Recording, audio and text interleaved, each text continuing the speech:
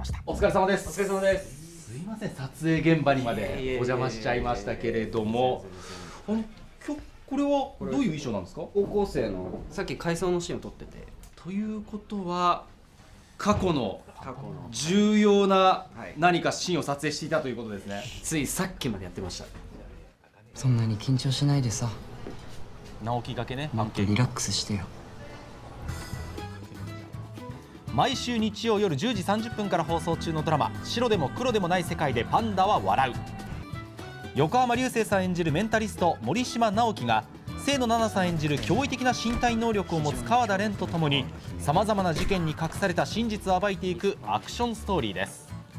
飼育員さん。そこで流星さんにこれまでの撮影を振り返ってもらいました。どうですかここまで撮影振り返って。順調ですか？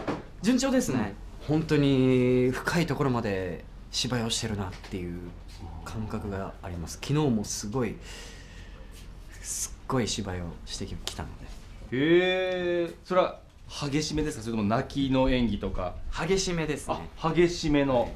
でも激しいシーンはこう舞はありますよね。アクションがね。まあ確かにそうですね。ありますから。はい。私が今まで一番感動シーンで言えば流星さんの懸垂のシーンですよ。ありがとうございます第3話の終盤に流れたこの懸垂シーン。実はですね当初台本にはなかったそうなんです。すごい背中の筋肉今日監督に脱いでくれって言われてもともと決まっていたんじゃないですか？決まってなかったんですよ。だって筋肉ってちょっとね、準備が必要じゃないですか、必要なんですよ。だからちょちょっと待ってくださいっつって。ちょっはいと一回はい。パンプアップの時間ください、やってから。はいはいはい。パンプアップ必要？挑みました。やったんですか？はいさあそしてそんなドラマからなんと私青木に出演のオファーが来たんです。そこで何かこうアドバイスというか心持ちをぜひねいただければ。いやでもあの青木アナの、はい。こうまんま気負わずちょうんっとこうリラックスしたい。やっていただけたらいいなと。じゃあ気負わずに気負わずに。やりたいなと、さらに流星さんがドラマの撮影前に現場で欠かさず行っていることも聞きました。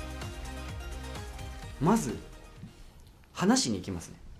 話しに行くっていうのは誰と話す？監督と。ああなるほどなるほ相どしてうんうん。より良いものをこうどっちも提案しつつより良いものになったらいいなと思って。ちゃんとコミュニケーション取りながらと、コミュニケーションは結構取るかもしれないです、うんなるほど、はい